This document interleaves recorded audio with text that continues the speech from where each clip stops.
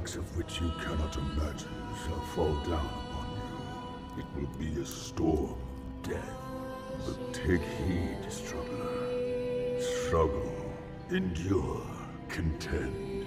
For that alone is the sword of one who defies death. Do not forget these words. Hey, what's it mean? Wait!